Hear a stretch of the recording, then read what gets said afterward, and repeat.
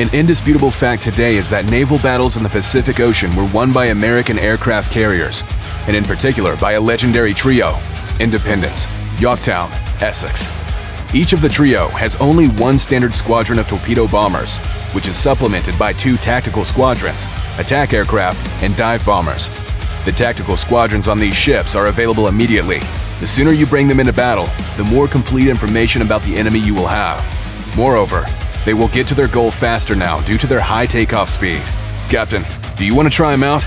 Then boldly fly into battle, and good luck.